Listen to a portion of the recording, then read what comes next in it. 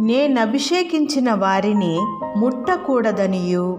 నా ప్రవక్తలను కీడు చేయకూడదనియు. ఆయన ఆజ్ఞ ఇచ్చి.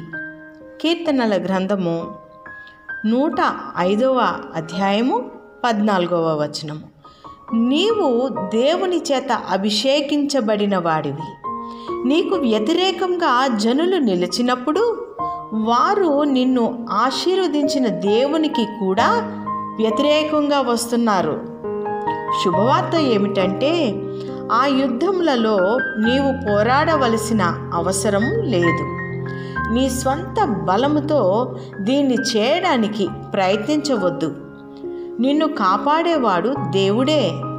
నిశ్చలంగా నిలబడి ప్రభు ఇచ్చే విమోచన కొరకు ఎదురు చూడు.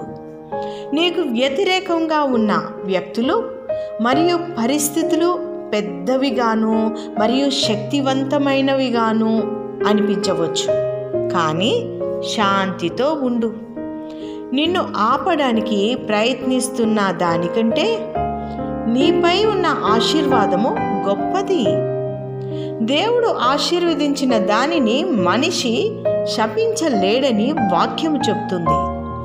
నిన్ను కించపరిచే వ్యక్తుల కంటే నీ పైన మాట్లాడే ప్రతికూల మాటల కంటే మరియు ఏ ద్రోహం కంటే కూడా నీపై ఉన్న ఆశీర్వాదం శక్తివంతమైనది.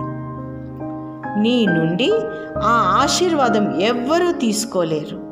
అనగా ప్రజలు లేదా పరిస్థితులు ఏమి చెప్పినా కానీ నీ ఆశీర్వాదం మారదు.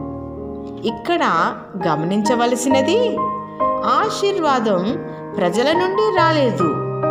కాబట్టి దీనిని ప్రజలు తీసివేయలేరు. ఈ విధంగా ప్రార్థన చేద్దామా?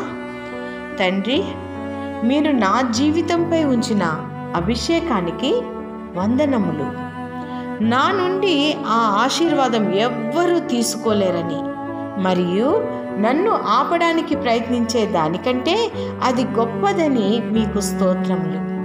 నేను ఊహించిన దానికంటే ఆశీర్వాదము నన్ను మరింత ముందుకు తీసుకువెళ్తుందని నేను నమ్ముతూ ఏసు నామంలో ప్రార్థించుచున్నాను తండ్రి. ఆమె